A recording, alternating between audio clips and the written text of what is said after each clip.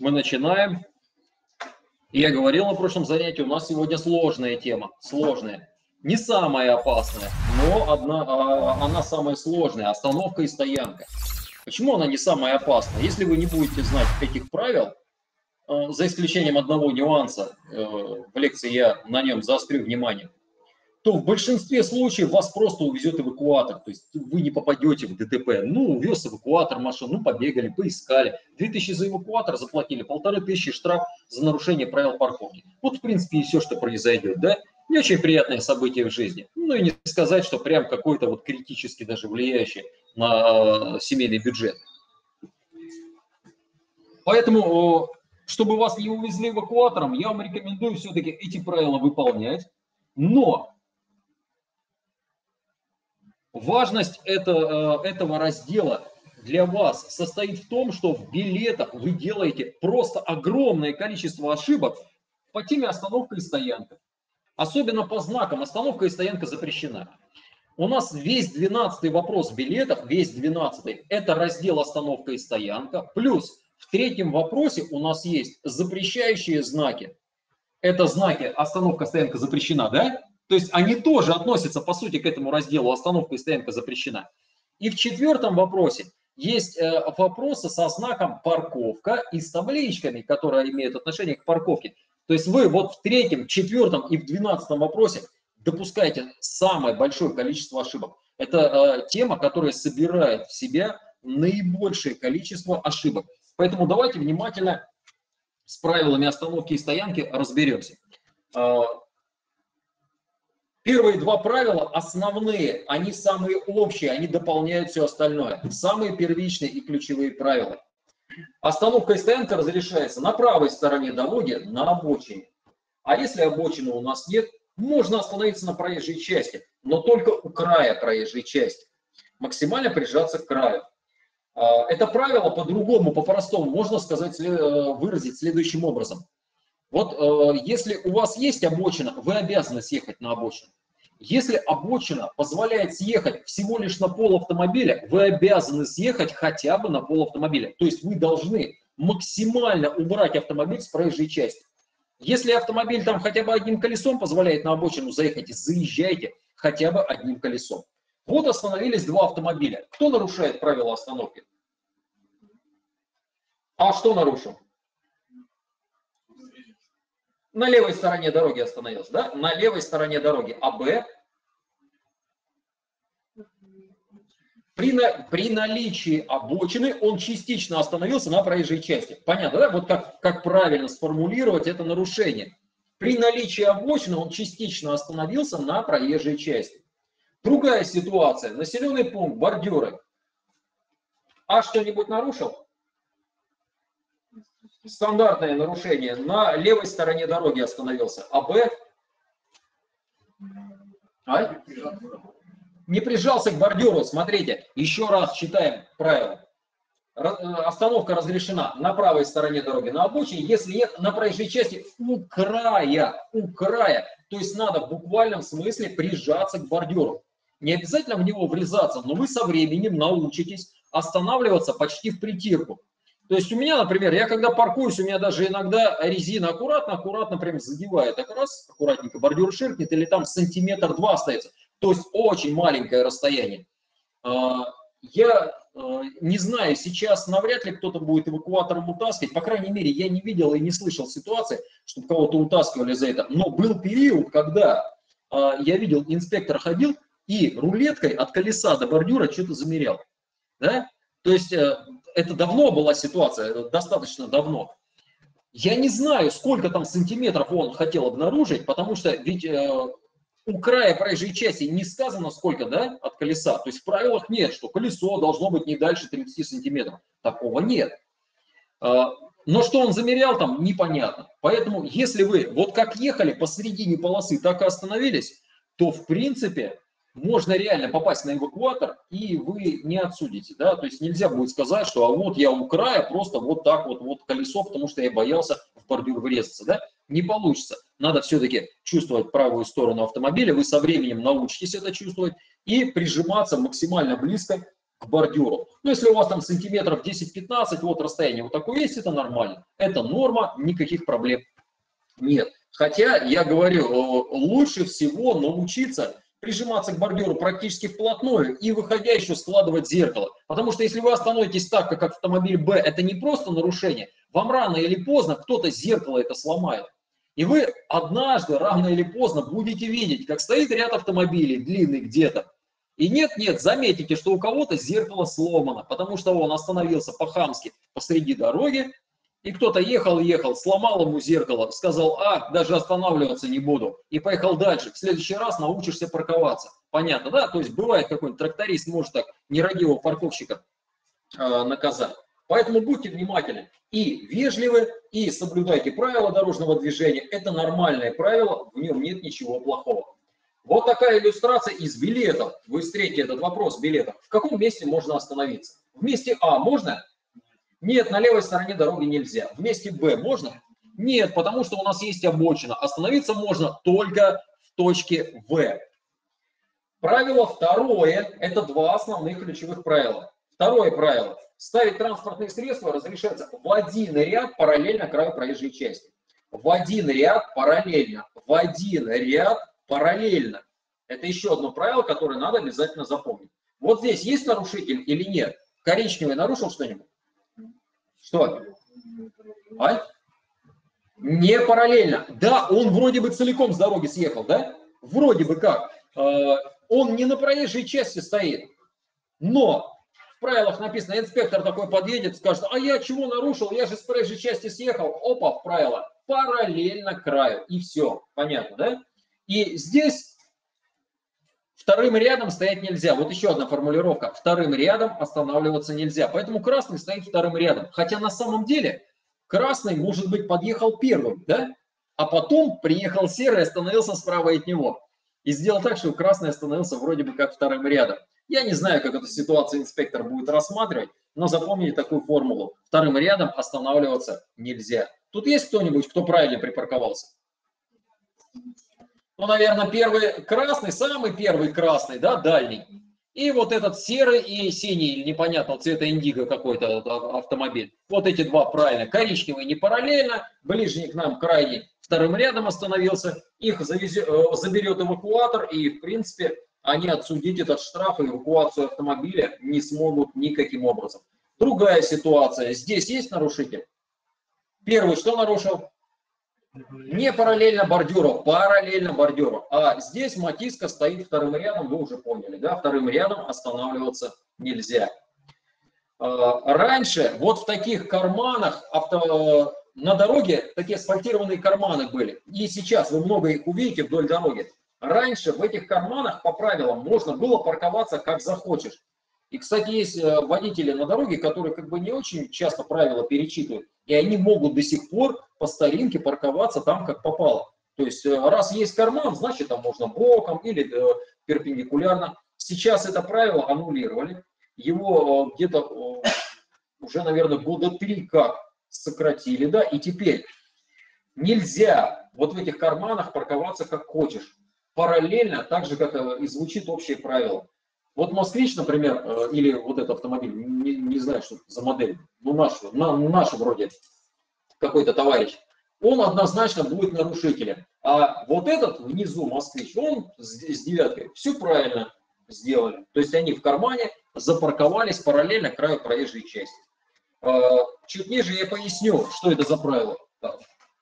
Если вдруг потребуется э, какой-то ситуации дорожной, дорожные строители или организаторы дорожного движения, э, сотрудники ГИБДД вдруг захотят в каком-то месте сделать, чтобы автомобили перпендикулярно проезжей части э, парковались, то это будет сделано однозначно только при помощи знака «парковка» с соответствующей табличкой. Мы с вами просто вкратце, я вас знакомил, когда мы таблички разбирали, просто сказал, что мы еще более подробно с ними будем разбираться, когда дойдет время тема остановка и стоянки. И вот сейчас с ними надо максимально подробно разобраться, потому что вы допускаете большое количество ошибок при решении билета. Здесь э, очень важно не путать эти таблички вот с этой табличкой, которая слева. Да? Помните, табличка, которая слева, обозначает категорию транспортного средства. Она обозначает, что знак распространяется на автомобили категории «Б». И левая табличка может применяться с любым знаком, с каким угодно, абсолютно с любым. А вот справа табличка, которая применяется только со знаком «парковка», только с этим знаком. И эти таблички остальные диктуют способ парковки, применяются только с этим знаком. И вот эта уже табличка диктует способ парковки на около тротуарной стоянке. Более того, здесь могут парковаться только легковые. Э, автомобили и мотоциклы, мы ниже с этим разберемся. Похоже вроде бы внешне, да, таблички? То есть можно вот так взгляд бросить и как-то перепутать. Но помните, это абсолютно разные вещи, абсолютно разные таблички. Левая табличка обозначает, что какой-то знак, с которым она расположена, распространяется на автомобили категории «Б», легковые и грузовики до 3,5 тонн, а справа определяется способ парковки и применяется только со знаком парковка знак. Всего 9 табличек, которые определяют способ парковки. Их всего 9. Причем одна табличка, вот эта 861, которая выделена обособлена, она э, допускает парковку и легковых автомобилей, э, и грузовых, и мотоциклов в том числе, всех подряд, и показывает способ парковки для любого автомобиля. Но как только вы видите 8 оставшихся табличек, то в зоне действия этих табличек могут парковаться только легковые автомобили и мотоциклы. Вот такое вот правило, которое сразу как бы на слух не ложится, да, и сразу возникает, блин, я же запутаюсь, черт возьми, табличек много. Вот под этой табличкой могут парковаться и грузовики, а вот под этой грузовики парковаться не имеют права. Я сейчас объясню вам, почему это правило так работает, и вам не надо будет особо заморачиваться и пытаться по каким-то там мнемоническим правилам пытаться запомнить вот эту отдельную табличку 861. Вы поймете смысл. И при решении билетов, а, ну, э, по идее, не должны будете ошибаться. Давайте разберем вот такую ситуацию. Два автомобиля припарковались. Можно ли их здесь парковаться? Нарушают они правила или нет? Они парковались. Нет, и грузовик не нарушает. Почему? Ну почему? У нас остановка и стоянка разрешена. На правой стороне дороги, на обочине, если нет обочины, у края проезжей части. В один ряд, параллельно краю проезжей части. Они же стоят ближе к правому краю проезжей части, параллельно, в один ряд. Да? То есть два ключевых правила они соблюдают. Они ничего не нарушили, они нормально стоят, нет никаких проблем. Вдруг появился знак «парковка». Что изменилось? А на самом деле вот в этой ситуации здесь на дороге ничего не изменилось, поэтому этот знак будет здесь бестолковым. Добавляем табличку, вот такую. Та самая 861, в зоне действия которой можно парковаться и легковым автомобилям, и грузовикам, и мотоциклам, то есть всем транспортным средствам. Так вот, как эту одну табличку отличить от восьми остальных? Она показывает способ парковки, как вы и так запаркуетесь, даже если ничего не будет. Да? А какая разница? Вы видите, ничего не изменилось. Вот так можно? Можно. А так можно? Конечно, можно. А вот так? Да без проблем, ничего не изменилось. Пришли хулиганы, спилили знак, и ничего не поменялось. Понятно, да? То есть, фактически, вы можете запомнить следующим образом. Вот эту табличку, на которой изображен способ парковки, как э, вы бы и так запарковались, даже если бы ее не было, можно, в принципе, выкинуть из правил, и поэтому под этой табличкой можно и грузовикам тоже парковаться. Я чуть ниже поясню, для чего она была нужна когда-то. Вот как раз для парковки в карманах э, это правило э, аннулировали, и сейчас эту табличку можно просто вообще вот выкинуть, и все, она бесполезная, ненужная. Совершенно. Далее, эти все таблички накладывают э, отпечаток свой, э, правила диктуют только стоянки.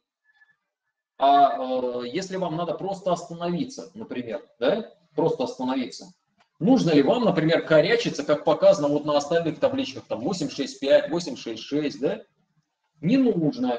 Нужно соблюдать общие правила. Эти таблички же применяются со знаком парковка, да? А чем у нас отличает? То есть стоянка, парковка и стоянка, запомните, это одно и то же. Парковка и стоянка – это одно и то же. А вот остановка, чем она отличается от парковки или стоянки? Остановка от стоянки чем отличается? Временем, да. До 5 минут у нас остановка, свыше 5 минут у нас стоянка. Так вот, если вам надо запарковаться, вы должны обращать внимание на эти таблички. Да? Если вы, вам надо постоять более 5 минут. А если вам не надо более 5 минут постоять, до 5 минут, это остановка. Вас вообще эти таблички не колышат. Ясно? Вот как это работает. То есть вы едете, вам надо высадить пассажира. Стоит знак, парковка с какой-то из этих табличек. Вы хотите до 5 минут остановиться. Даже вот он сейчас выскочит, в ларек сбегает и вернется обратно. Нужно ли соблюдать эти таблички? Нет, не нужно. Не нужно. Совершенно спокойно. Как вы должны будете остановиться? Соблюдая общие правила, первые два, которые мы разобрали. В один ряд параллельно, и на правой стороне дороги, на обочине, а если нет, можно у края остановиться. Но в городе в основном вы будете у края, у бордюра параллельно. Понятно, да? Вот это правило вы должны соблюдать. И совершенно все равно, что тут на табличке нарисовано каким-то другим способом. Вас это не интересует, потому что вы просто остановились. А это способ парковки более 5 минут. Замысел понятен, да? Поэтому под любой из этих табличек останавливаться можно всем в один ряд параллельно краю тротуара. Едет грузовик, здоровый, КАМАЗ. И вот ему надо остановиться, потому что у него в кабине лишний пассажир. Да, выпрыгнуть. Стоит знак парковка с одной из табличек. Можно ему остановиться в зоне действия? Да можно, конечно можно. Он останавливается, он э, не собирается здесь стоять. Его для остановки эти таблички не интересуют. Но как только транспортное средство решило припарковаться, вот тут мы обращаем внимание на эти таблички и оставшиеся таблички 8, кроме первой 861, оставшиеся таблички, разрешают э, парковку только легковым автомобилям и мотоциклам. Грузовикам там делать нечего. Понятно, да? Сейчас мы еще с вами разберемся, как эти таблички отличать. Вот вариант около тротуарной парковки. Это не обязательно будет высокий бордюр с газоном, куда вам надо с разгону обязательно запрыгнуть. Нет, это может быть невысокий, высотой буквально в сантиметр, бордюрный камень, просто линия разметки на около тротуарной стоянке. Это просто схематично показан тротуар здесь. На самом деле это может выглядеть всего лишь вот так. Понятно, да? Вот вам, пожалуйста, вариант около тротуарной стоянки. Причем есть еще одна маленькая особенность, на которую раньше не обращали внимания и было всем по барабану. А, а сейчас вдруг а, периодически надо пополнять городской бюджет, бабки, бабки надо с народа содрать, и поэтому, ну вот, ну хоть э, с драной овцы, хоть шерсти клок, да, слышали такую поговорку? Вроде бы мелочь какая-то, но уже иногда и на мелочь пытаются нас развести. Посмотрите, на табличке показан способ парковки носом туда, внутрь, да, вправо. А здесь некоторые автомобили стоят влево. На самом деле, раньше на это не обращали внимания, ну потому что удобнее задом заехать вот сюда, а потом, потому что выезжать проще. И для того, чтобы заехать, нам меньше места требуется с левой стороны, когда мы заезжаем задом. Для того, чтобы заехать туда передом, нам надо слева больше пространства. Если слева, вот там автомобили стоят в ряд, э, они, это пространство э, будет загорожено, то мы не сможем туда заехать и это неудобно. Однако, э, то есть некоторые водители, неважно как нарисовано, автомобиль же там стоит, какая разница, куда носом, да? Но стали что делать? Эвакуатором, конечно, никто не забирает, потому что эвакуатором забрать вот так автомобиль нельзя, поскольку он не блокирует движение. Ездят с фотоаппаратом, фотографируют и присылают штраф 500 рублей. Вот так. То есть они вот как на камеру, да? Проезжает автомобиль, и те, кто э, носом не туда, а сюда, они просто фотографируют и штраф 500 рублей присылают. То есть вот, вот стали делать вот так. Поэтому будьте просто бдительны, я вас предупреждаю, будьте бдительны. Хотя на самом деле, ну какая разница? Какая разница? Автомобиль с дороги уехал, он там припарковался, какая вам разница? А вот так вторым рядом, как стоят автомобили, даже остановиться нельзя. Даже остановиться нельзя. Посмотрите, какой способ парковки диктуется знаком справа на столбе, вот здесь, я его более крупно выделил слева, да? Парковка перпендикулярно тротуару. И два автомобиля то ли остановились, то ли стоят, непонятно. Запомните, что вторым рядом даже остановиться нельзя. Вы будете очень много видеть нарушений вот таких на дороге, и э, вы должны помнить, что даже притормозить нельзя вот так вторым рядом. Понятно, да? Высадить кого-то. Вам надо найти место для остановки. Если вам надо остановиться, надо остановиться вот как э, белая э, девятка э, полицейская стоит, он с синими номерами. Вот если он остановился, он правильно сделал. Если припарковался, уже неправильно. А вот полицейский УАЗик, Бобик, да, вот этот, он все правильно сделал. Он явно припарковался, и у него с законом никаких проблем нет. Еще одна тонкость, маленькая небольшая тонкость. А вот э, как парковаться? Ровно перпендикулярно или можно под углом? Вот здесь видите, автомобили под углом стоят. Да? Э, это будет зависеть от наличия и, э, или отсутствия разметки. Если вы подъезжаете и видно, что разметка есть тут, парковочные места, да, разметкой обозначены, и видно, что они под углом, паркуйтесь под углом. Если этой разметки нет, в принципе, как бы по закону нужно перпендикулярно запарковаться, но вы чаще всего на самом деле будете под углом парковаться, потому что так удобнее и выезжать удобнее намного намного легче и проще. Перпендикулярно, ну, навряд ли кто-то где-то будет парковаться, только если вы у себя во дворе, там так удобнее, действительно, там э, будет ряд автомобилей меньше места занимать. Э, вот как-то так. Смысл понятен, да? Но чтобы э, вы понимали, что по правилам это вот так, в реальности на это уже на самом деле никто внимания не обращает. Поэтому вы подъезжаете, видите, автомобили стоят под углом, там есть разметка, нет. Э, становитесь вместе со всеми под углом. Не надо там корячиться и пытаться быть, ну, прям совсем законопослушным. Здесь даже на камеру фотографировать у вас никто не станет. Понятно, да? Просто становитесь под углом. Вам и заехать можно э, удобно, и выехать потом будет намного удобнее. А вот знак парковка с табличкой, под которой можно парковаться и легковым, и грузовикам.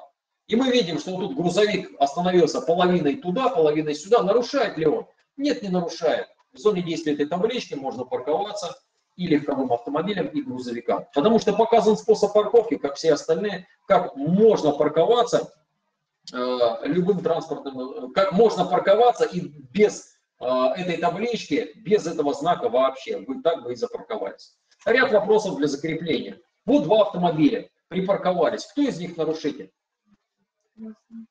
А? Как никто? Красный, видим, на тротуар заехал? Понятно, да? Красный. То есть, если нет знака парковка заездом на тротуар, вы не имеете права заехать на тротуар. На тротуар вы имеете право заехать только в том случае, когда есть соответствующий знак с табличкой. Нет таблички, запомните, вам нечего делать на тротуаре. Никогда туда не заезжайте. Очень быстро приедет эвакуатор. А в этой ситуации все правильно они сделали? Или не совсем? А? Все нормально?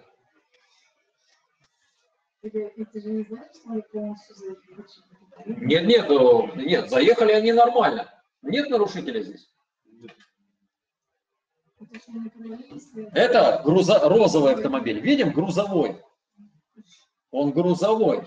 То есть как только появляется табличка не параллельно краю проезжей части, на проезжей части, да, как вы без таблички запаркуетесь, а с заездом на тротуар грузовикам там делать нечего. Причем, обратите внимание, любым грузовикам, категории Б нашим, да, маленьким грузовичкам, категории э, С тяжелым грузовикам.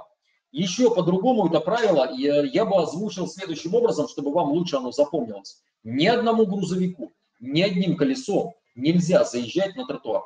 Понятно, да? Вот это правило запомните вот таким образом. Грузовикам на тротуаре делать нечего. Маленький, большой, э, категории Б, С не имеет значения. Грузовикам на тротуар нельзя. И здесь наклевывается еще одна маленькая социальная несправедливость. Вот этот вот маленький пикапчик, он э, автомобиль категории Б, но небольшой совсем, да? И ему, он, но он грузовик по документам, и ему на тротуар заезжать нельзя. А, крупный здоровый джип, легковой автомобиль по документам. Помните, мы с прицепом разбирались, да? Вот точно такая же ситуация с заездом на, тротуар. Здоровенный джипяра сюда заедет, залезет на тротуар грязными э, из леса колесами, и он не будет нарушителем, потому что он легковой автомобиль по документам. А вот этот маленький пикап является грузовиком, и ему на тротуаре делать нечего.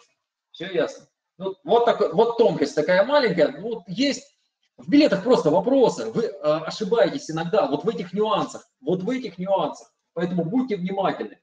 Другая ситуация. Кто на, в билетах вас спросят, кто нарушил правила парковки? Вот есть такой вопрос в билетах. То есть они припарковались все, в том числе и грузовой автомобиль. Кто нарушил? Конечно, грузовой. Ни на проезжей части, ни на тротуаре, нигде нельзя. То есть если здесь парковка с заездом на тротуар, значит здесь захотели освободить проезжую часть. Она слишком узкая. Поэтому здесь легковые мотоциклы на тротуаре, грузовики вообще проезжают мимо, и парковаться им нельзя. А вот та самая ситуация, которая раньше э, могла потребовать применения таблички вот этой 861, которая сегодня не актуальна. Посмотрите, у нас карман имеется, да, асфальтированный, небольшой, но он какой-то маленький. Раньше, увидев вот этот карман, по правилам можно было запарковаться перпендикулярно, никаких проблем, то есть они не были нарушителями. Но здесь, видите, зад торчит у автомобиля, и он половину полосы перегораживает. И если здесь чрезмерно оживленное движение, то этого делать нежелательно как бы и а, организаторы дорожного движения. И они решили, так, здесь, конечно, карман есть, и по правилам вроде бы как можно и перпендикулярно. Но надо все-таки, чтобы заезжали и параллельно вставали, иначе полос, а, полосу будут занимать, да, и здесь блокировать движение по этой полосе, пробка будет скапливаться. И тогда вот именно в этой ситуации возникала потребность вот в этой табличке. И несмотря на то, что тут карман, вывешивался знак «парковка параллельно», то есть даже в кармане параллельно. Но после того, как это правило убрали, его аннулировали, теперь даже если здесь нет ни знака, ни таблички, вы обязаны останавливаться и парковаться здесь, в кармане, все равно параллельно. В данном случае водители, нарушители, даже если этой таблички со знаком не будет, они все равно нарушители. Вы поняли, да, смысл? То есть сейчас эта табличка не нужна. Мы в любом случае должны параллельно запарковаться. Раньше нужна была вот эта табличка. Но им по барабану, что табличка, что сейчас правила, они вот как они захотели. Как рука взяла, вот так они и завернули. Случайно. Замысел понятен? Разобрались? А, еще раз, как отличить? Давайте еще раз вернемся вот сюда. Как отличить вот эти таблички? Как отличить 8 э, табличек от одной, от таблички 861? Табличка 861, которая является самой ненужной, показывает способ парковки, как вы и без нее бы запарковались вдоль, вдоль края проезжей части. Остальные таблички показывают способ парковки с заездом на э, около тротуарную стоянку или перпендикулярно Понятно, да? И вот тут грузовикам делать нечего. Представляете, э, стоит табличка «Парковка перпендикулярна». Да, заезда на тротуар нет, но вы на дороге должны перпендикулярно парковаться. И вот перпендикулярно вдруг за, запарковалась здоровая фура через пять полос, да? И дорогу перегородила. Смысл понятен, да? То есть грузовым автомобилем нельзя заехать на тротуар и нельзя парковаться перпендикулярно краю проезжей части. Вот такое простое правило. И вы не при решении билетов, не, ну, в будущем, если вы будете на легком автомобиле ездить, вас вообще это не коснется, и вы можете забыть это правило. А для сдачи билетов вот необходимо его таким образом запомнить. Так будет намного проще. Следующее. Если вы решили остановиться с целью длительного отдыха или ночлега, то вам необходимо а, либо поискать специальное место парковочное, приехать куда-нибудь к санаторию, к профилакторию, кемпингу, да, к месту отдыха какому-то. Или, если нет возможности, за пределами дороги. Это правило касается только загородных дорог. Вот вы выехали за город, и по факту, вот смотрите, э, такая ситуация. Выйти и пойти погулять за грибами в течение там двух-трех часов, это с точки зрения закона не совсем правильно. Понятно, да? И тем более остановиться на обочине и лечь спать, да, потушив. И я вам настоятельно не рекомендую этого делать, особенно ночью. Ну, например, вот сильно устали и что делать? Ехали, да, вот в путешествие отправились, ну реально устали. Надо хотя бы полчаса киморнуть или просто в командировку поехали. И вы, э, вас ночь застала, темнота, и вы чувствуете, вас клонит. Очень опасно. Вы момент засыпания вообще не сможете поймать. Поэтому нужно остановиться и поспать хотя бы 10-15 минут, снять сонный спазм. Можно ли это сделать вот здесь? Нет, нельзя. Что вам надо сделать? Э, вам надо просто найти место, где вы съедете с дороги целиком. Понятно, да?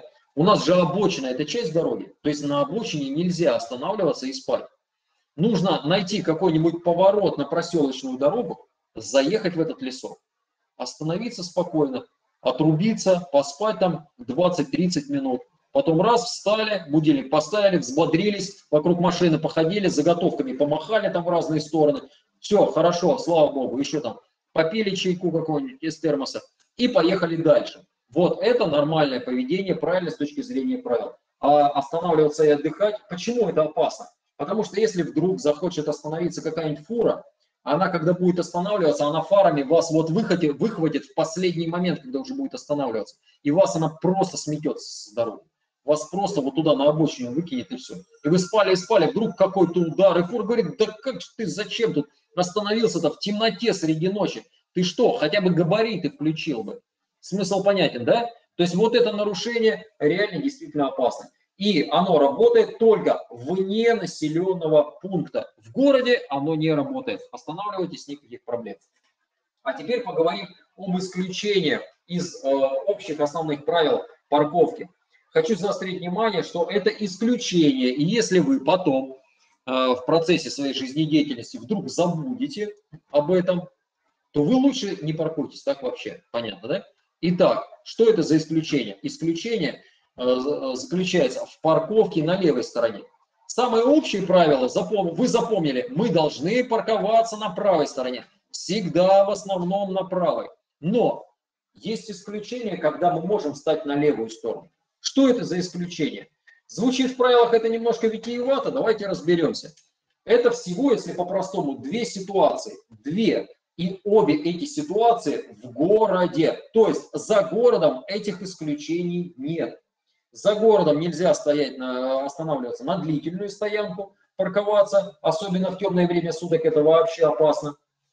И за городом нельзя останавливаться на левой стороне дороги, этих исключений за городом нет, они не работают. А вот когда вы находитесь в городе, то вы можете на левой стороне дороги остановиться в следующих двух случаях. Первый, самый простой, на дороге с односторонним движением. Это и так понятно, раз у вас по всей ширине вы движетесь в одном направлении, хотите справа, хотите слева, никаких проблем. Можете парковаться с любой стороны. А вторая ситуация звучит более витиевато, но не так сложно.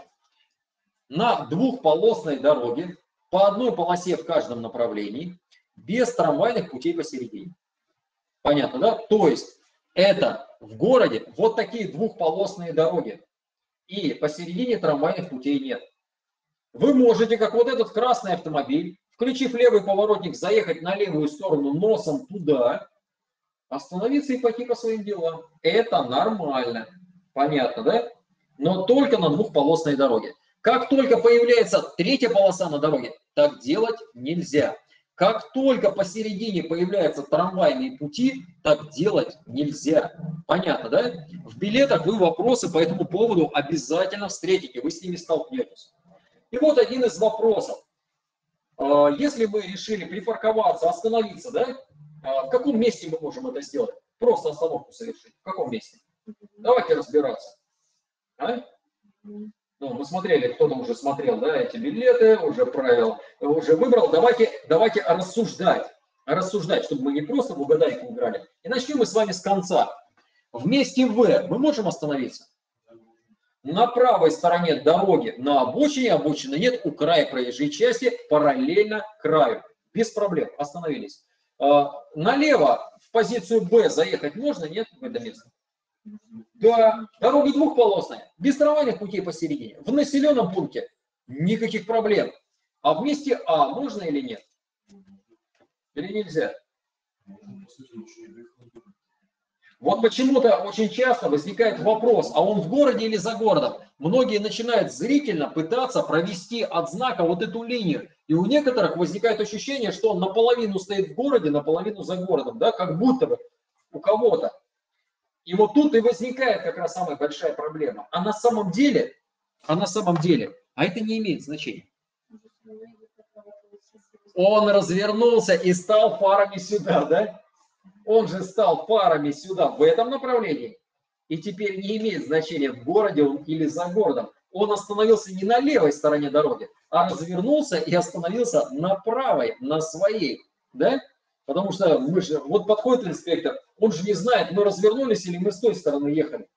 Он остановился на правой дороге, на своей. И поэтому неважно, в городе он или за городом, вы можете останавливаться в любом месте из показанных вперед, где угодно. Все поняли? Вот специально так каверзно вопрос составлен. Специально. Именно это многих и вводит в заблуждение. Кто-то говорит, а вот он за городом или в городе, я что-то не понимаю, начинает сомневаться и как раз выбирает варианты. Обычно Б и можно, а нельзя. Вот переживают и ошибаются. В этой ситуации еще один вопрос из билетов. По какой траектории мы можем заехать и остановиться? При наличии трамвайных путей по А уже нельзя. Только заехать на трамвайные пути и совершить разворот и остановиться в своем направлении. Да, дорога двухполосная, по одной полосе в каждом направлении, но имеются трамвайные пути посередине. И все. Так делать нельзя. Да, кстати, еще одна особенность. Еще одна особенность. Тонкость такая. Причем, э, вы знаете, я раньше о ней э, не говорил. Как-то я э, упускал этот момент, пока не понял, что, опа, а есть такой нюанс, о котором я не рассказываю, но он важный. И я, наверное, на следующей неделе найду время, поправлю эту лекцию свою и ставлю еще одну иллюстрацию. Давайте разберемся вот с какой особенностью. Смотрите. Вот у нас дорога, да? Мы можем на, на двухполосной дороге заехать на левую сторону и остановиться.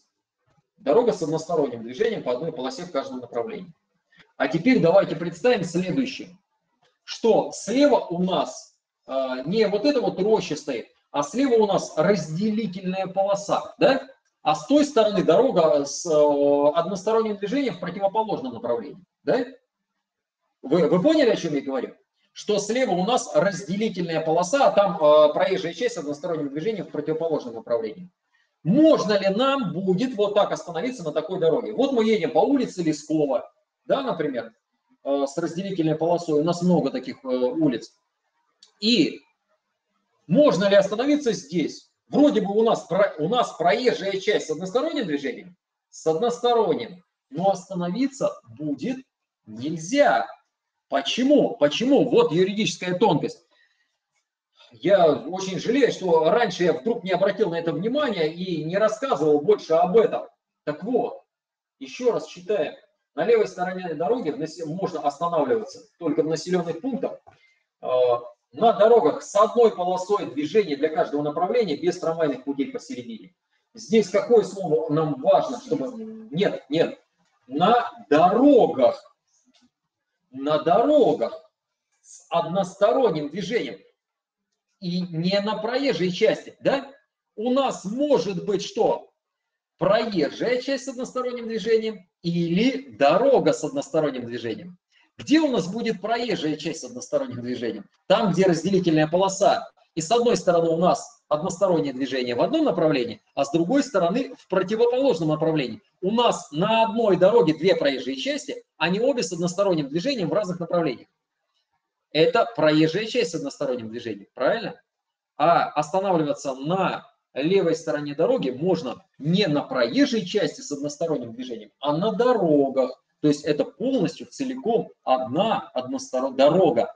Понятно, да? Поэтому вот здесь, в этой ситуации, у нас дорога с односторонним движением.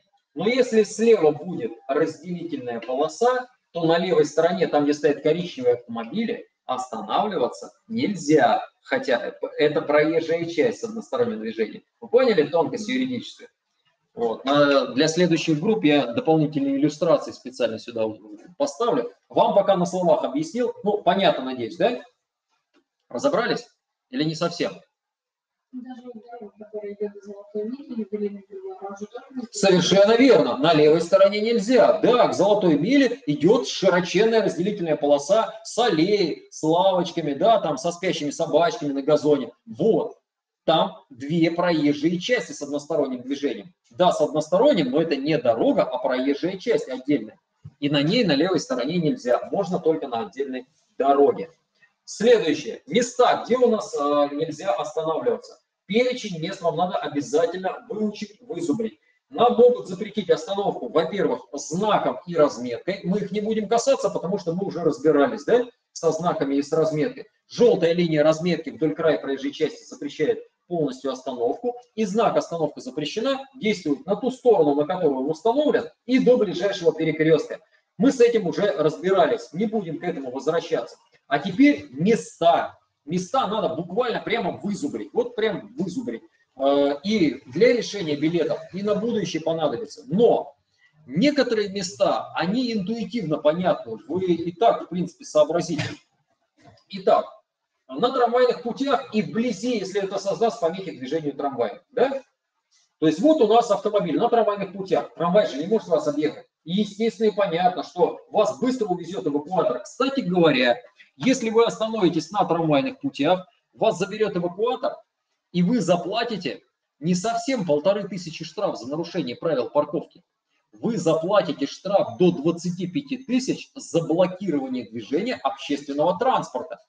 Это совершенно другая статья, совершенно э, иной раздел, и поэтому лучше этого не делать. А я вас уверяю, когда водитель трамвая подъедет, а вы стоите вот так на трамвайных путях, он скажет, ну молодец, ну ты мне не оставил выбора. Скажет, ну, ну слушай, я вот вот прям понимаю, что тебе надо было срочно, тут же в ГИБДД звонит, через 3 минуты прям подлетает эвакуатор и быстро увозит автомобиль. Моментально. 25 штраф готовьтесь заплатить. От 15, по-моему, от 15 до 25, э, не помню точно, но штраф достаточно крупный.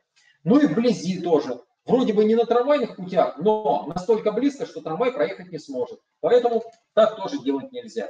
Также остановка запрещена на ЖД-переезде и в тоннелях, но я думаю, никому э, речь идет о преднамеренной остановке, не о вынужденной, когда вы случайно заглохли, да, не об этом, нет, а преднамеренной, когда вы вышли и побежали в магазин, припарковались вот так на переезде, да, сказали, вот так удобно, машина не скатывается, в рельсы уперлась, замечательно, мне прям понравилось. Конечно, очень быстро эвакуатор увезет или поезд увезет на следующую станцию. Ну и в тоннеле тоже. Если вот этот водитель будет здесь голосовать стоять, а все будут соблюдать требования правил, вот он так и помрет здесь с голоду. Никто не остановится, потому что в тоннелях остановка запрещена. А, далее, остановка запрещена на мостах, эстакадах и путепроводах, а также под ними. А, и вот с этим нюансом надо разобраться поподробнее. Здесь есть особенность. На эстакадах, мостах, путепроводах, если для движения имеется а, менее трех полос а под ними независимо от количества полос движения. Еще раз, как это лучше запомнить? Вот смотрите, когда мы едем с вами по мосту или эстакаде, путепровод, я, по-моему, рассказывал, путепровод это вот наш метромост, это вместе с железнодорожными путями, то есть у нас снизу метро идет, сверху а, автомобильный мост, это путепровод. Это, считайте, что мост одно и то же, так в простонародье, так для общего развития.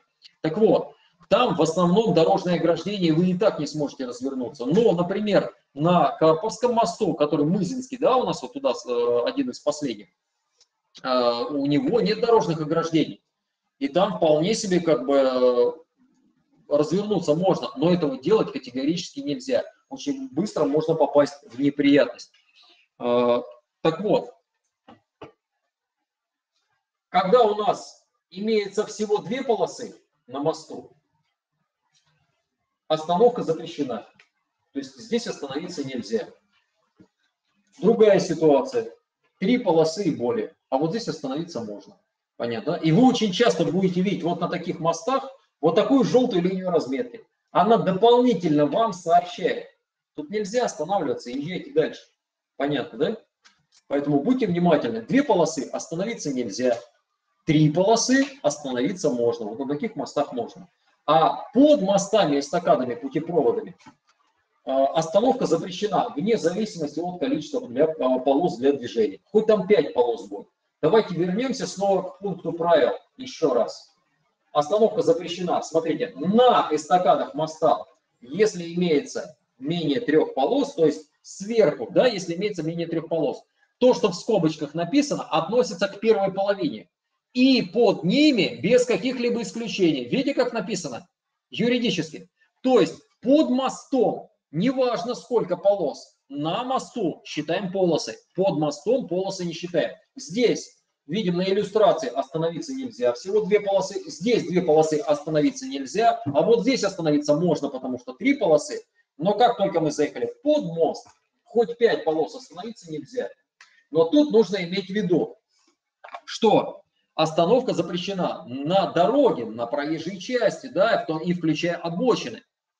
А мы с вами, например, на Пролетарке или в районе, э, где у нас бывший кинотеатр Москва, да, э, Комсомольское шоссе там не заканчивается, там прямо под эстакадой огромные парковочные зоны.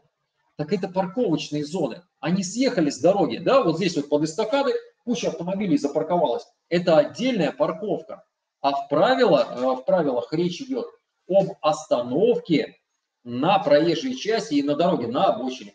А парковочная зона к дороге отношения не имеет. Понятно, почему здесь вроде бы под мостом, но они паркуются. А на проезжей части тут, по-моему, 5 полос, но останавливаться нельзя. Даже остановиться нельзя. Даже остановиться, проезжаем дальше.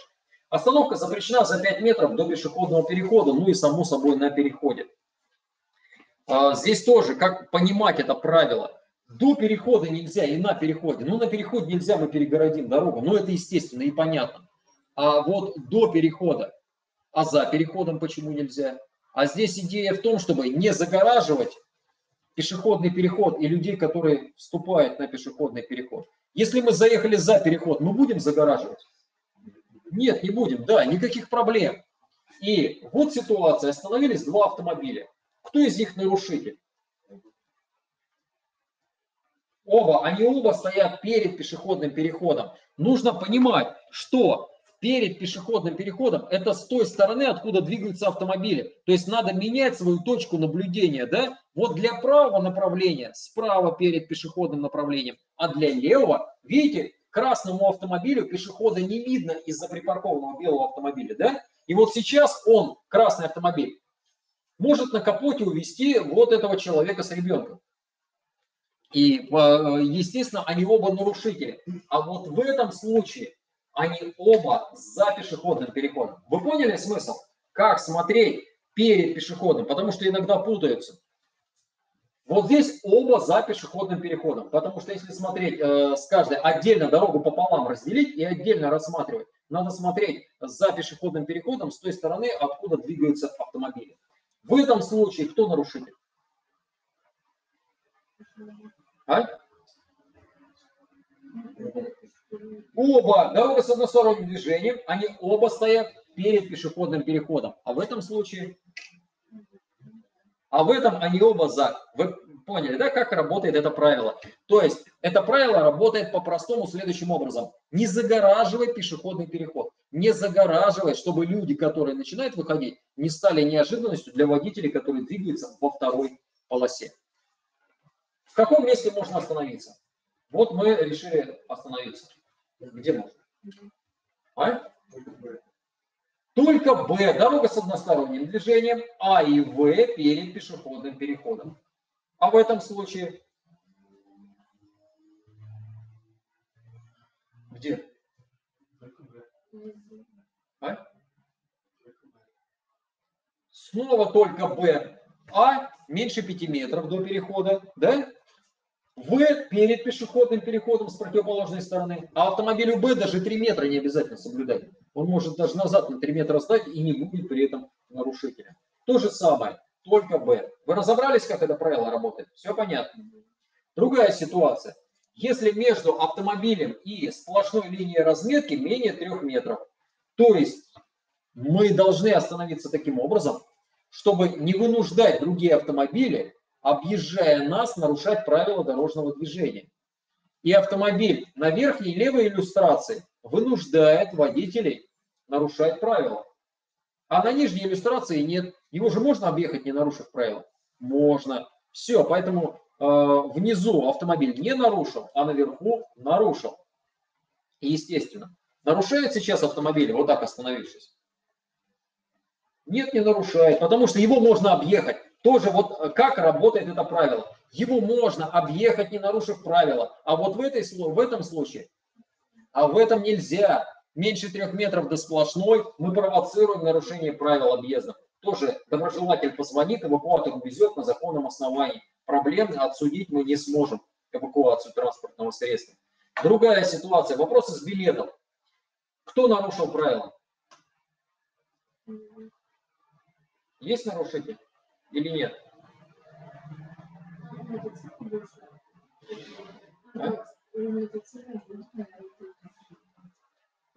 А? можно его объехать? Ну, у нас э, комбинированная линия разметки с прерывистой, да, с нашей стороны. Его объехать можно, он в любом, даже если легковой там будет, он не нарушил. А, а легковой автомобиль нарушил? А легковой автомобиль въехал на тротуар. На тротуар въезжать нельзя. Нарушителем здесь однозначно будет легковой автомобиль. Это аналоги вопросов из билета, вы столкнетесь с ними в вопросах. Еще один вопрос. Есть нарушитель здесь или нет? Но если общая ширина 3 метра, значит ни у кого шансов не осталось, да? Вот так вам и придется скакать рулеткой, измерять все как надо. Никаких проблем. Возите рулетку с собой на всякий случай. Конечно, но если до э, бордюра у нас всего 3 метра, то вообще никому нельзя. Вообще никому нельзя. Даже мотоциклист, даже мопед, никому нельзя. Следующий пункт, тоже достаточно важный, я вам рекомендую его соблюдать. Остановка запрещена на пересечении проезжих частей и ближе 5 э, метров от края пересекаемой проезжей части. Это своего рода зона безопасности поворота.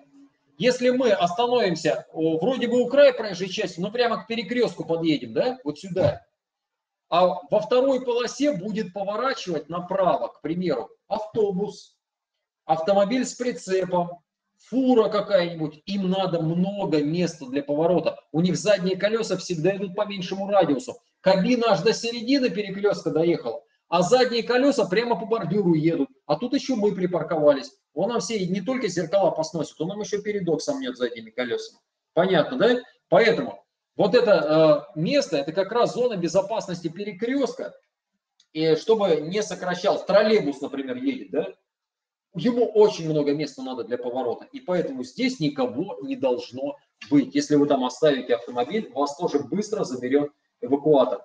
Однако есть вот такой каверзный вопрос в билетах, э, в котором иногда ошибаются, но ошибаются не потому, что не знают это правило. В принципе, помнят, что вроде бы 5 метров отъехал от края пересекаемой проезжей части, вроде бы можно остановиться, да? Но здесь ошибается, потому что иллюстрация нарисована некорректно. Э, вроде бы 5 метров-то отсюда он отъехал, а там-то справа выезд есть или нет, да, там что-то маячит. И некоторые думают, черт возьми, так там какой-то перекресток, а там почему э, вы, там же выезд, он там вроде напротив выезда встал. И вот именно из-за этой некорректной иллюстрации и происходят ошибки. На самом деле остановиться можно. Я нашел вроде бы мультяшную иллюстрацию, но тем не менее отраж... она отражает то, что здесь изображено. Там справа на самом деле ничего нет. Он просто отъехал от края и остановился вот здесь, вот в этой точке. И вот здесь нужно разобраться с еще одной небольшой тонкостью правил остановки и стоянки. Остановка и стоянка запрещена э, на пересечении проезжих частей, а не на перекрестке. Перекресток и пересечение проезжих частей – это же разные вещи, да? Это же не одно и то же. И по площади они разные, да? Вот это все, полностью вот это все, что мы видим на иллюстрации, это один перекресток, да? Это перекресток с круговым движением, правильно? Это один перекресток. А сколько пересечений проезжих частей вы видите здесь? А? Сколько пересечений? Как вы думаете? Давайте я вам картинку-подсказку. Сколько мы видим пересечений на этом одном перекрестке с кругом движением? А их даже подписали. Считайте. Вам осталось прочитать и посчитать. Четыре. Четыре пересечения. Четыре дороги примыкают к кольцу и образовано четыре пересечения проезжих частей. Соответственно, здесь будет три, да?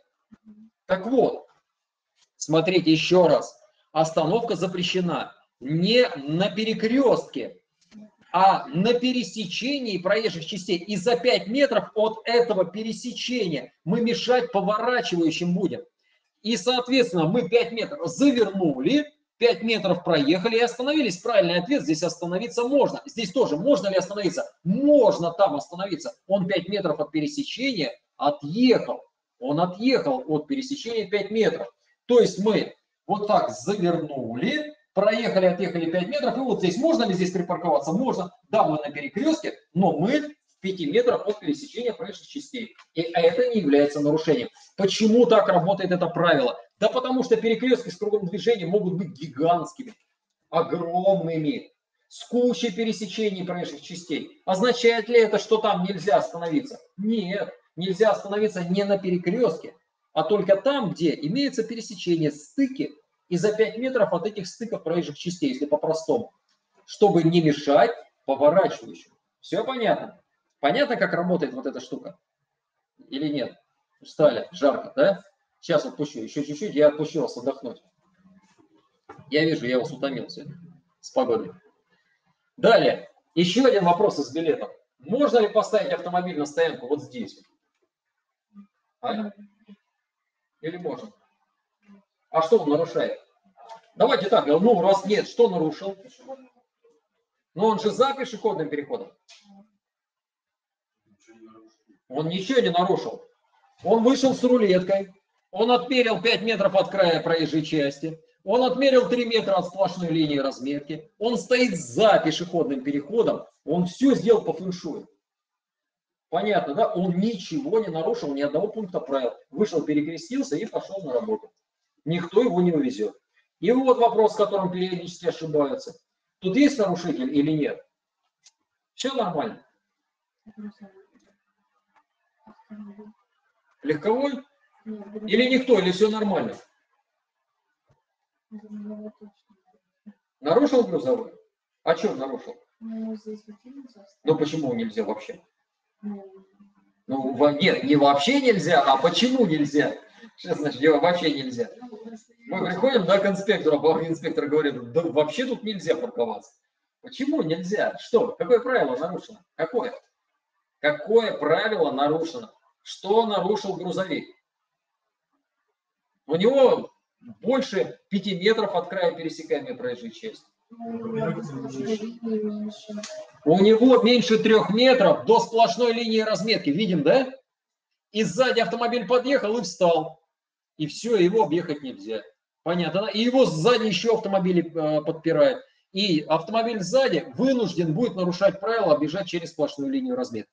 На самом деле, я вам так скажу, вот эта сплошная линия разметки, совершенно бестолковое перед перекрестками рисовать между полосами вот эту дебильную сплошную линию разметки. Вы ее соблюдать не будете, я ее никогда не соблюдаю, ее не соблюдает никто. Понятно, да? Но дурацкий вопрос вот этот в правилах есть. Объясню, почему это дебильная линия разметки. Она неправильная. И я вам рекомендую на нее не обращать внимания, потому что иногда именно в этом месте перестраиваться очень удобно и наоборот безопаснее всего. Кто ее придумал, я не знаю, о чем он думал, что у него там было в голове. Я не понимаю. Давайте себе представим, что грузовик не нарушил правила и остановился до этой линии разметки сплошной, да? Он назад отъехал еще метров 10 и остановился. Теперь за этим грузовиком ехал автомобиль, который хочет повернуть направо. Чтобы объехать грузовой автомобиль, он его объезжает, выезжая вот сюда во вторую полосу, да? а потом ему надо в правый ряд, чтобы повернуть направо. Да? И как он должен это сделать, если тут сплошная линия разметки? Он вынужден будет снова пересекать сплошную линию разметки. И грузовик вроде бы не будет нарушителем, ему нечего предъявить, он ничего не нарушил. Но если все такие будут, ну такие прям законопослушные, нельзя у нас в России быть законопослушным, ну вот прям до мозга костей. Вот это невозможно, потому что правила некоторые Э, законы пишут олигофрены. И вот в этой ситуации это полнейшая олигофрения. Понятно, да? То есть в билетах вы должны правильно ответить на этот вопрос, но в реальности, я вас уверяю, вы будете игнорировать, и никто ее не соблюдает. Совершенно бестолковая сплошная. Но не вздумайте это на экзамене провернуть. Вы ничего инспектору не докажете, что тут что-то дурацкое. Надо, если вы попали в эту ситуацию, что надо сделать? Вы прямо буквально останавливаетесь и говорите инспектору, я не могу выполнить вашу команду или распоряжение, не нарушив правила дорожного движения. Меня участники провоцируют на это. То есть инспектор должен понять, что вы это правило знаете, что вас вынуждает, и он вам дает команду. Нарушаем, объезжаем. Да? Вы поняли смысл? Если вы этого не сделаете, скажете, да, господи, а тут же по-другому нельзя, и я на свой страх и риск поехал. Даже если по-другому было сделать невозможно, вы схлопочете не сдачу. Да, это надо озвучить. Камеры должны это записать, потому что 6 камер в автомобиле в экзаменационном пишут экзамен. И все это будет записано. Звук будет записан. Смысл понятен, да? Обязательно это сделайте. Обязательно. Вы, кто-то из вас может попасть в эту ситуацию. У них, у нас этих ситуаций пруд пруди, просто вагон, не выгрести. Инспектор говорит, на следующем перекрестке движемся направо, а там вот эта вот ситуация, да? Это сплошь и рядом. Сплошь и рядом. Или вот здесь вот, вы поворачиваете, тут сплошная линия разметки начинается, и стоит вот так вот белый автомобиль. Опа, и вы как можно правее выехали, а теперь налево надо через сплошное его объезжать. Он нарушает, и вы вынуждены нарушать. И что делать? Не сдавать экзамен? Сдадите, если остановитесь и скажете, что тут вот ситуация, и я по-другому поступить не могу. Инспектор скажет, объезжаем через сплошную, это записано на камеру, вы объезжаете, экзамен сдал. Все понятно? Вот так надо действовать. А, далее, еще одна особенность э, на перерыв. Остановка запрещена, как мы с вами только что разобрались, на пересечении проезжих частей. Мы на иллюстрации видим пересечение, да? Никому же в голову не придет вот здесь посреди перекрестка, да, запарковаться. Вот так вот, сказать, пацаны, вы тут подождите, сейчас я быстро, я, я быстро, мне буквально надо три минуты, а то там проблема с парковкой. Конечно, нет, нельзя. И вот здесь на пересечении проезжих частей, да, он стоит. Но так как на правой нижней иллюстрации автомобиль стоит, Иногда остановиться можно, но только в виде исключения. И в правилах дорожного движения это исключение звучит настолько юридически непонятно.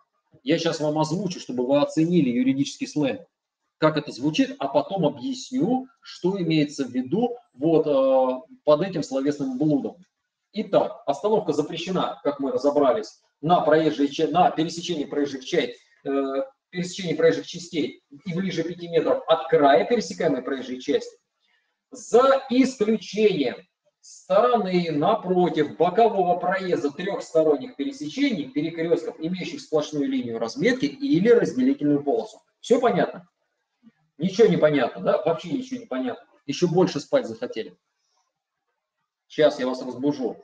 О чем идет речь? О чем же здесь речь? Итак, что такое трехстороннее пересечение? В простонародье это Т-образный перекресток. Вот такой. Вот он, Т-образный перекресток. Трехстороннее пересечение. И на этом э, перекрестке имеется разделительная полоса, и она разрывается на территории самого перекрестка. И автомобили снизу будут поворачивать налево, а автомобили справа будут поворачивать вниз вот сюда. И припаркованные наверху, вот здесь в зоне запрета транспортные средства, поворачивающим будет создавать помеху. Понятно, да?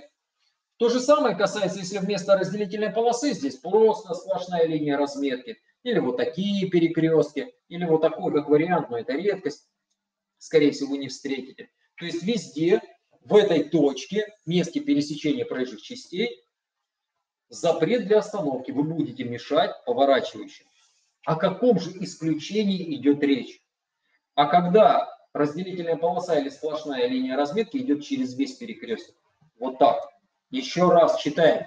За исключением стороны напротив бокового проезда трехсторонних пересечений перекрестков, имеющих сплошную линию разметки через весь перекресток, ну или разделительную полосу, разделительную полосу можно было вообще не дополнять. Почему? Потому что если разделительная полоса, у нас там вообще нет пересечения никакого, да?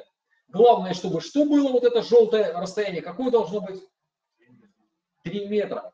Понятно, да? 3 метра есть до края. Все. Вы поняли, как работает это правило? То есть вот здесь или вот здесь, где поворачивать никто не будет, все равно, да, вы можете вот тут прямо на этом пересечении запарковаться, проблем нет. Но если вот так или вот так, все, там не, делать нечего вас тоже оттуда очень быстро заберет эвакуатор. Где у нас еще нельзя останавливаться? То есть даже остановиться нельзя. Это в местах остановок маршрутных транспортных средств э, и за 15 метров от знака, либо от разметки, которая обозначает габарит остановки маршрутного транспортного средства.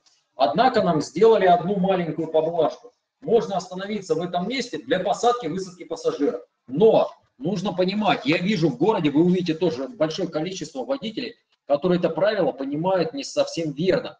Они думают, ага, раз для посадки пассажира можно остановиться, наверное, до 5 минут можно подождать. Нельзя ждать 5, 5 минут. То есть некоторые останавливаются на остановке и набирают смс «Выходи, я тебя жду». Нет, нельзя. Человек уже стоит, хлопнул дверью, и мы уехали сразу. То есть можно притормозить, человек сел, и мы тут же уехали. И только если мы не создадим помехи движению маршрутным транспортным средством. То есть вот в этом случае нам разрешили пассажира посадить. В билетах есть вот такой каверзный вопрос. Можно ли остановиться, посадить пассажира вот так на левую сторону? А? Давайте разберемся. А что он нарушил?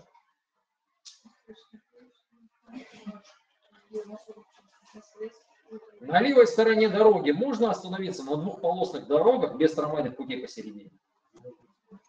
Можно. Дорога двухполосная, без трамвайных путей. Для посадки пассажира в местах остановки маршрутного транспортного средства можно остановиться? Для посадки пассажира. Да? Но мы же не создаем помех, мы же видим, нет никого, да? Что он нарушил? Ничего. Понятно, да? Можно так остановиться. Казалось бы, вроде бы такой необычный маневр, а, а он ничего не нарушил. А, а что? А что ему предъявить? Вы поняли смысл? На левой стороне дороги, потому что двухполосная без трамвайных путей, тут он сажает пассажира, никаких проблем, все, хлопнули дверью пассажиры, и он правый поворот включил и уехал на свою половину проезжей части. И все, никаких проблем. То же самое, кстати, правило касается мест остановок такси. Здесь тоже можно остановиться только для посадки и высадки пассажиров. Там паркуются таксисты, но нам только притормозить и э, посадить пассажиров. А вот следующее правило остановки и стоянки. Если вы будете нарушать, вы спровоцируете жесткое дорожно-транспортное происшествие. Вот это правило является как бы исключением из общего, ну, когда вас там просто эвакуатор увез и все. Здесь вас эвакуатор, скорее всего, не увезет. Здесь вы просто огребете очень серьезных проблем. Остановка запрещена вблизи опасных поворотов и выпуклых переломов продольного профиля в конце бугра, да, или за бугром сразу. При видимости дороги менее 100 метров хотя бы в одном направлении. Э, еще раз, давайте вспомним самое первое основное правило. Первое. Остановка разрешена на правой стороне дороги на обочине. Но если обочины нет, можно остановиться на проезжей части? Можно у края проезжей части. Вот у нас на обочине какой-то там кювет, да, глубокий отрыли. И мы не можем целиком съехать с проезжей части. Можно ли наполовину частично остановиться на проезжей части? Можно, но сюда добавляется вот это правило, которое мы с вами разобрали. Второе. Вы должны видеть дорогу в одну и в другую сторону минимум на 100 метров. То есть дорога должна просматриваться. Если где-то поворот или за бугром вы находитесь, то э, это приведет к неприятности. Остановится автомобиль, например, вот здесь, да, его могут начать объезжать сзади. Вы провоцируете водителей сзади объезжать вас через встречку вблизи опасного поворота, да, почти обгон и оттуда вылетает автомобиль, у них произойдет лобовое столкновение, мы становимся причиной. Или мы завернули за поворот и остановились на проезжей части. Что произойдет? Автомобиль отсюда на полном ходу влетает за поворот, и вдруг вы у него стоите перед носом. Да? Сразу же он влетает вам в зад. Кто виноват? А тот, кто остановился. Вы же не можете сказать, а ты что дистанцию не соблюдал? Не прокатит. Замысел понятен, да? То есть мы провоцируем этим ДТП. То же самое касается ситуации, когда мы за бугром. Мы вот так вот заехали за бугор и остановились на проезжей части. Поэтому, кстати говоря, там может быть автомобиль не припаркованный, а за бугром может быть пробка. Да? Может быть пробка? Может быть. Поэтому вот за такие крутые повороты всегда заезжайте очень аккуратно. Всегда предполагайте, что там не обязательно нарушитель припарковался. Там, может быть, автомобили в пробке стоят. И последний автомобиль только заехал, его не видно. Я когда вот за такие повороты заезжаю, я, опа, я уже напрягаюсь, сейчас кто-нибудь вылетит олень сзади и в меня влупится. И даже можно взять аккуратно на обочинку, съехать вот так, на всякий случай. Потому что тот, кто сзади вылетит, увидит автомобиль впереди. Обычная реакция первая, несмотря на то, что это намного более опасно, он пытается уйти навстречу, он пытается уйти влево. Хотя очень часто это про, про, э, приводит наоборот к более жесткому лобовому столкновению. Поэтому это тоже маневр такой достаточно опасный. Но так срабатывают со страха у большинства водителей рефлексы, к сожалению. Так срабатывает. То же самое касается не только поворотов, но, как вы поняли, из-за бугров. Да? Вот вы движетесь, вот конец подъема, вы раз за подъем, а тут автомобиль стоит. Поэтому не останавливайтесь, не останавливайтесь. И есть вопрос в билетах вот такой. А этот автомобиль вблизи опасного поворота припарковался, он нарушил что-нибудь или нет? А? Нет, поворот закрытый, его не видно на самом деле. А, здесь речь о другом. Запрещена остановка на проезжей части. А автомобиль съехал с проезжей части, да? Вы поняли смысл? То есть, если мы даже заехали за поворот и остановились, но съехали с проезжей части на обочину, мы же не спровоцируем ДТП. Водитель как вылетел из-за поворота, он по проезжей части продолжил движение. Мы ему не создали препятствия. Поняли, да? То есть вот это очень важный пункт правил, без, правил безопасности, которые я вам рекомендую соблюдать, иначе быть беде. Следующее. Остановка запрещена в местах, где вы закроете знаки от других водителей, сигналы светофоров, а, но вы легковым автомобилем, как правило, этого не сделаете. Это касается больше грузовиков. А вот продолжение вас может коснуться. Или создадите помехи для движения пешеходов, либо сделайте невозможным движение, если ли вы из других транспортных средств. То есть нельзя парковаться поперек выездов из дворов или каких-то прилегающих территорий. Это вроде бы не перекресток, да? но вы блокируете выезд из двора. А, Причем в билетах есть вот этот вопрос, вот она иллюстрация. Нарушает ли правила водитель, припарковавшись вот здесь, где а, обозначено место вот этим прозрачным автомобилем? Так вот, на самом деле правильный ответ – да, он нарушает. Правильный ответ – он нарушает. А, но я бы с этим сильно поспорил. Юридически, на самом деле, он не нарушает. Билет ведь не является юридическим документом, правильно? В правилах написано «сделает невозможным выезд». Он что, сделал невозможным выезд вот этого э, сиреневого автомобиля или непонятного цвета, он марганцовочного? Да? Нет, не сделал. Ну да, не очень удобно, заградил обзор, ну не очень хорошо, но не невозможно. Невозможно – это когда вообще перегородил выезд и выехать невозможно. Вот это невозможно. Вы поняли смысл, да? То есть в билетах вам надо правильно ответить на этот вопрос, что типа того нельзя. Но в реальности вас никогда не увезет эвакуатор, если вы так припаркуетесь. Потому что они знают, что если вы подадите в суд, вы отсудите и штраф, и тот, кто выписал протокол об эвакуации незаконной, заплатит э, двадцатку в бюджет за превышение должностных полномочий, если вы до конца пойдете и подадите в суд документ. Смысл понятен, да? Поэтому для билетов так нельзя, но в реальности это не, не совсем нарушение. Да, надо подальше отъехать. Надо здесь 5 метров от края соблюдать или нет? Не обязательно, это же не перекресток. 5 метров надо от перекрестка от края пересекаемой проезжей части. А это не перекресток, это выезд из двора.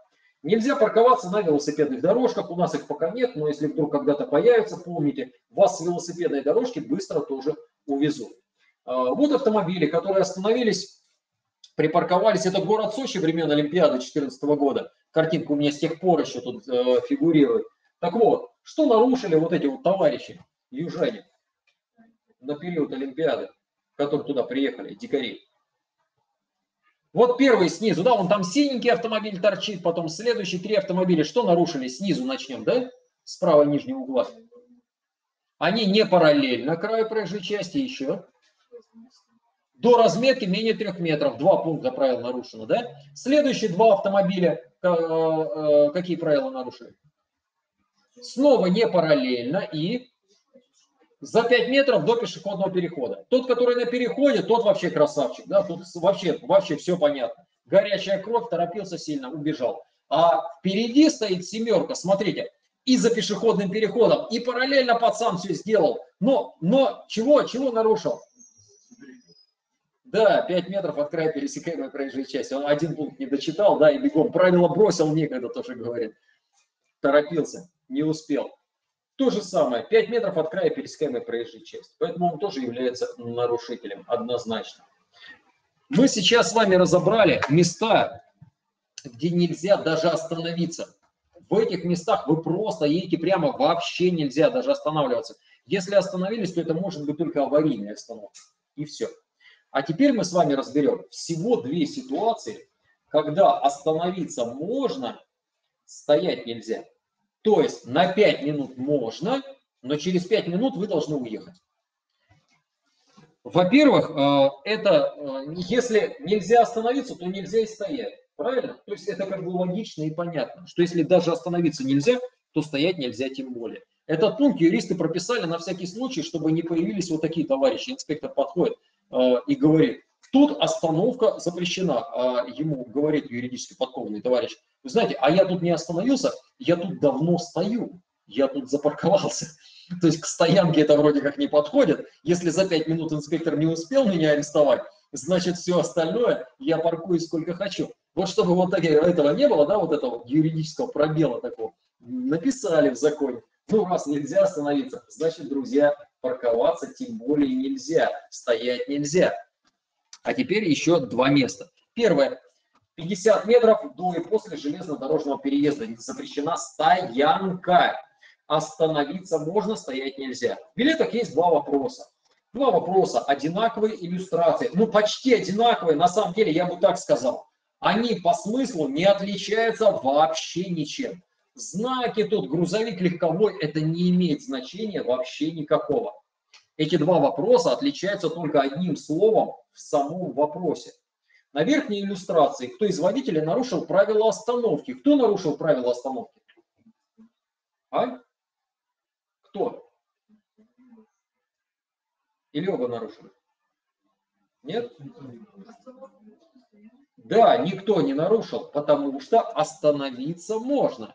За 50 метров до переезда запрещена стоянка. А второй вопрос, когда вы будете э, их разбирать, когда решать билеты будете, кто нарушил правила стоянки? И вот тут они оба нарушили. То есть, внимательно читайте вопрос. Если вас спрашивают, кто нарушил правила остановки, никто не нарушил, потому что останавливаться до 5 минут можно, на 5 минут можно. Но если в вопросе вас спросили, стоянки, это значит, что они уже больше 5 минут стоят, а стоять-то нельзя. Вы поняли, да, в чем подковырка? Это в копилку к тем вопросам, когда ученик говорит, в билетах два вообще вопроса одинаковых, а ответы разные. Что это они вдруг разные? Да, вы просто чего-то не доглядели. Понятно, да? Нет в билетах одинаковых вопросов. В билетах одинаковых вопросов нет. И вот как раз это один из примеров. Здесь обычно ученик не доглядел формулировочку. В одном вопросе спросили про остановку, а останавливаться как раз можно, а во втором спросили про стоянку, а стоянка-то как раз и запрещена. И поэтому варианты в одном оба нарушили, а в другом никто не нарушил. Все понятно? Или не совсем? Каламбур такой. И вторая ситуация. Я ее озвучу. Э, давайте перед тем, как э, ну, вы сами сейчас прочитаете, да, кто-то прочитает, а я, скажем так, к этому правилу вынужден э, придумать предысторию такую, да, замысловатую, для того, чтобы разобраться со смыслом того, что в этом правиле написано. В чем идея? Когда мы с вами выезжаем за город, вне населенного пункта, вы там встретите очень много дорог, всего лишь двухполосных. Но если только это не федеральная трасса, и ее действительно сделали хорошо, и, и там какая-то дорожная компания э, очень качественно и длинную, длинную дорогу сделала, потому что она перегружена транспортом.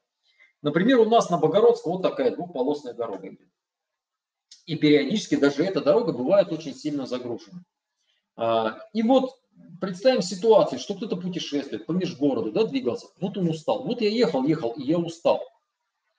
И я э, за городом уже выехал, и тут вот лесочек как раз так хочется остановиться, отдохнуть, да, возможно, в кусты сделать, возможно, там э, чайку из термоса попить. И э, мы вспоминаем наши первые правила остановки, да. Остановка разрешена на правой стороне дороги на обочине.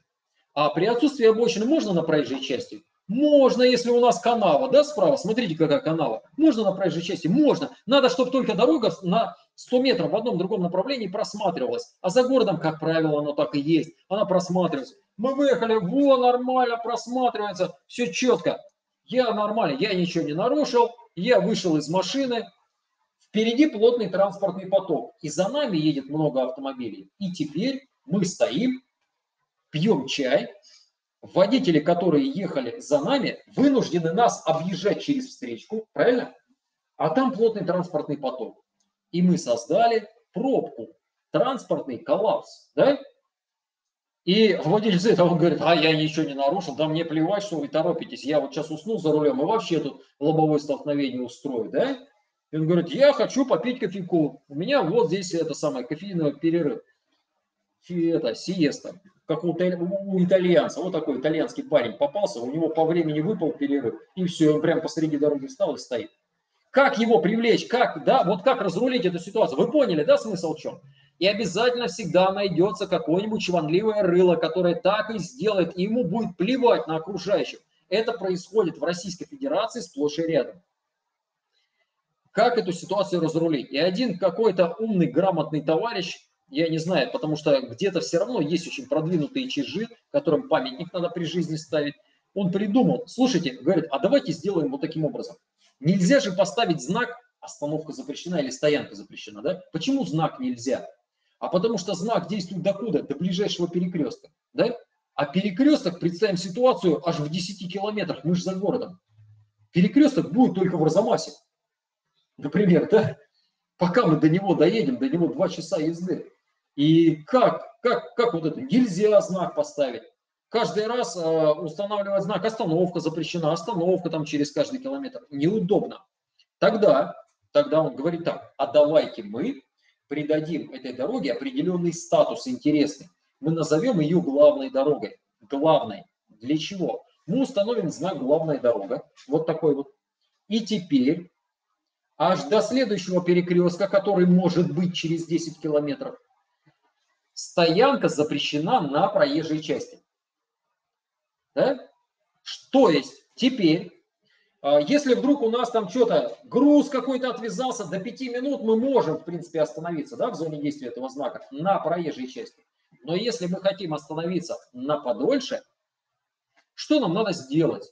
Нам надо просто доехать до такого места, где мы целиком съедем с проезжей части и не будем задерживать транспортный поток, и мы не создадим пробку, потому что проезжая часть свободна, а у нас автомобиль целиком появился на обочине. Такое место, я вас уверяю, оно обязательно будет. Потому что когда строится дорога, вот такие участки, где справа-влево крутой спуск, да, они будут, ну, даже если будет он длинный, все равно где-то в процессе стройки строительная техника парковалась, да, она рядом. Они где-то все равно делали уширение это уширение вы обязательно встретите. Причем вы встретите его там метров через 500, ну через километр. Сколько вы будете ехать этот километр? Да минуту, минуту, а то и меньше. Понятно, да? То есть вы всегда найдете место в течение ближайших 3-5 минут, где вы остановитесь, съехав с проезжей части, не блокируя дорожного движения. Поэтому это правило звучит следующим образом стоянка, не остановка, а стоянка более 5 минут запрещена вне населенных пунктов за городом на проезжей части дорог, которая обозначена знаком «Главная дорога». Вы поняли, о чем речь? Вот в этом пункте правил. Вот как раз к этому имеет отношение. И здесь нужно еще одно дополнение сделать. Мы же с вами помним, что вообще-то главная дорога, знак главная дорога, это знак приоритета, да? ну, вообще-то он нужен на перекрестке. Он определяет очередность проезда там, где траектории транспортных средств пересекаются. Так вот, вот это применение знака «главная дорога» является весьма редким исключением, очень необычным. И многие недопонимают этого. Они иногда за городом едут, смотрят, о, знак главная дорога. Какой дурак его тут воткнул, тут даже перекрестка нет. Да? А на самом деле это имеет э, отношение к разделу остановка и стоянка. Это исключение применения этого знака. Редкое, нечастое. Но иногда вы будете видеть вне перекрестка за городом вдруг торчит знак главная дорога. С чего бы это? Да здесь, если вы вдруг захотите постоять больше пяти минут, надо просто найти такое место, где вы целиком сидите с проезжей частью. Понятно? Вот как работает это правило. Вы поняли, да? Во всем есть логика, во всем есть смысл. Потому что изначально, если прочитать, блин, что такое, не пойми, блин, билеты лишь бы сдать и все. Права получили, а потом раз, и, и все, и человек уже, они, а тут можно, а какое правило? А это правило, вот это правило об этом говорит. А почему? А, а, а зачем вообще? А может меня специально тут хотят? Это просто, чтобы штрафов больше выписать. Нет, это имеет четкий определенный смысл. Все понятно? Вот всего две ситуации, где 5 минут постоять можно, но через 5 минут вы должны уехать. За 50 метров до и после ЖД переезда остановиться можно, стоять нельзя. И за городом на дорогах, обозначенных знаком «Главная дорога», нельзя стоять на проезжей части. Остановиться на 5 минут можно, выйти, что-то там застучало, задолбило, посмотрели под машину, оп, груз там отвязался, привязали, поехали, нашли уширение и, и встали на подольше. Замысел понятен, да? Вот основная идея. Ну и последнее. А, стоянку могут запретить точно так же знаками и разметкой. Разметка желтая, прерывистая, и знак точно так же, как и с остановкой, действует на, то, на ту сторону, на которую установлен, и до ближайшего перекрестка. Все то же самое. А если он в табличке «зона», то он действует на обе стороны и не до ближайшего перекрестка, а пока не появится знак «конец зоны э, запрета стоянки». То есть мы с вами это уже разбирали, да, это просто э, вспомнить, просто вспомнить. Последнее, самое последнее. Вы ищете место для остановки. Э, нашли место. Все, молодцы, замечательно. Остановились, припарковались. Последнее правило, которое на вас распространяется. Прежде чем открыть двери и выйти из автомобиля, необходимо посмотреть в зеркало заднего вида, чтобы там никого не было. Потому что правило четко определяет. Запрещается открывать дверь, если это создаст помехи другим участникам дорожного движения. Если вы вдруг открыли двери и вам в нее влетел мотоциклист, вы всегда виноваты, вы всегда будете платить, абсолютно всегда, исключений нет. Поэтому будьте очень осторожны, очень аккуратны. Этим очень часто страдает э, женская половина населения. Э, сразу скажу, это реально так. Вы там, ой, сумочка, все, я приехал, все нормально, эвакуатор не увезет. Раз двери хлоп, вот так на распашку сразу. Не делайте этого. Еще я вам рекомендую выработать очень-очень правильный рефлекс безопасности. Когда вы открываете свою водительскую дверь, необходимо щелкнуть ее, приоткрыть, то есть это прямо рефлекторно делать всегда.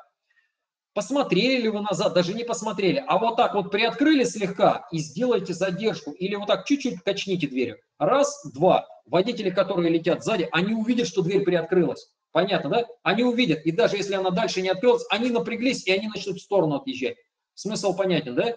Если вдруг даже потом вы ее откроете шире, есть высокая возможность, что водитель сзади, который двигался, он успеет среагировать на это. Понятно? Либо притормозит, либо успеет объехать.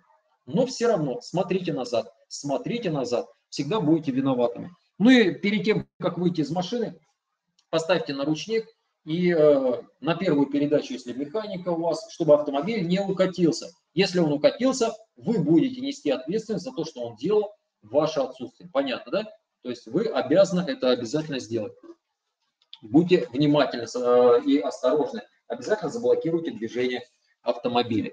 И теперь э, пару рекомендаций. Это все, что я хотел вам рассказать. По поводу экзамена. По поводу экзамена.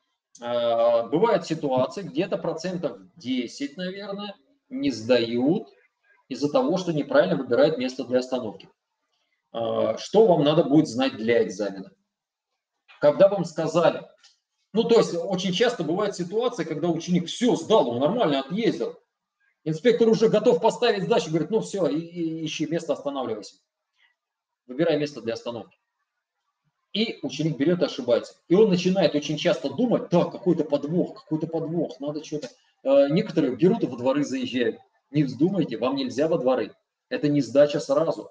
Э, что необходимо сделать, чтобы правильно остановиться? И что нарушают в основном? Останавливаются перед пешеходным переходом, э, слишком близко могут остановиться к перекрестку. Останавливаются, когда меньше трех метров до сплошной линии разметки, будьте бдительны, понятно, да? или слишком долго ищут место для остановки. То есть начинают волноваться, так, едут, едут, едут. У меня прям была на экзамене такая ситуация. Парень, я вижу, он не знает, где можно остановиться. Проезжает целый квартал, одно место. Так, здесь знака вроде нет, так, мы проехали на остановке. Прям вслух вот так рассуждает и боится. Вот здесь, здесь нельзя, или можно. Сейчас, я чуть-чуть подальше проехал, инспектор ему в ухо, ну ты будешь останавливаться или нет? Сейчас, сейчас найду. И он еще где-то пару минут едет, инспектор так, все, вот здесь прижимаемся и останавливаемся. То есть он понял, что ученик не знает, где можно, а где нельзя, однозначно не сдал. Один ученик у меня вторым рядом запарковался тоже, к сожалению, из-за волнения. Хотя говорил, что нельзя вторым рядом, нельзя вторым рядом. И он едет, а автомобилей много припарковано. А у него возникла мысль, я слишком долго еду. Мне сказали остановиться, а я никак не остановлюсь. И он такой, и я про себя уже смотрю, не останавливайся, не останавливайся, проедь вот там, вот промежуток вдали. Ему надо было, ну, метров сто еще проехать. Ну да, это вроде бы кажется много. Но вторым рядом нельзя. Это не нарушение, езжайте до тех пор, пока не будет места для остановки. Понятно, да? То есть сказали, выбираем место для остановки. Где нельзя, где чаще всего э, эта команда вас застает. Вы не должны остановиться на пешеходном переходе за 5 метров до него на перекрестке за 5 метров до края перекрестка. А у нас, как правило, перекресток. За перекрестком что? Пешеходный переход. Дальше за пешеходным переходом у нас что обычно? Остановка маршрутных транспортных средств. Да? Проезжаем остановку, пешеходный переход, проезжаем остановку, проезжаем 15 метров за остановку, правый поворот включили и остановились, и выдохнули. Вы все правильно сделали. Но только смотрите, чтобы слева от вас не было сплошной линии разметки, если это двухполосная дорога. Меньше трех метров вы не сдали. Понятно, да? Плюс э, будьте внимательны к знакам «Остановка запрещена». Понятно, да? А какой еще нюанс можно встретить на экзамене? Я давно не сталкивался, чтобы таким образом учеников заваливали, но мало ли что, вдруг можете столкнуться. Какая еще была такая система? Обычно, обычно в большинстве своем – инспектор говорит, ищем место для остановки. И, как правило, знак «Остановка запрещена». Если он был, ученик его видит. Что нужно сделать? Да доехать до ближайшего перекрестка. За перекрестком проехали переход, остановку и остановились. Понятно, да? Все просто, просто, не сомневайтесь. Но иногда инспектор говорит, ищем место для парковки. Опа, и ученика начинает ступор повергать. Да это то же самое, для остановки найдите место. Но здесь еще одно правило вкрадывается. Например, э, инспектор говорит, ищем место для остановки, а вы проехали знак «Стоянка запрещена». Можно ли за этим знаком остановиться? Можно, на 5 минут можно. То есть вы за знаком «Стоянка запрещена» останавливаетесь, потому что инспектор дал команду «Ищем место для остановки», а запрещена-то стоянка, и остановиться можно. Но если инспектор сказал, ищем место для стоянки или ищем место для парковки, а был знак «стоянка запрещена», ученик не сдаст, если здесь остановится. Что мы делаем? Едем снова до перекрестка, проезжаем пешеходный переход, как правило, проезжаем еще остановку, и там за 15 метров после остановки тормозим, прижавшись к правому краю проезжей части. И последнее. Когда вы прижимаетесь к правому краю проезжей части, ни в коем случае не заденьте бордюр. Это тоже будет не сдача. Понятно, да? Сто процентов, сто пудов, прям вот сразу инспектор скажет, не сдали. То есть вы сдали, все, он почти расписался, и вот тюк бордюр. А, никак, и все. Обидно, очень обидно. Поэтому сантиметров 20 оставляйте. Вы в процессе вождения научитесь. То есть не надо прям, то есть слегка прижмитесь, но не надо прям тыкаться в бордюр. Третий бордюр тоже не сдали. Вот такие вам а, пожелания на экзамен. Понятно, да? По поводу остановки и стоянки.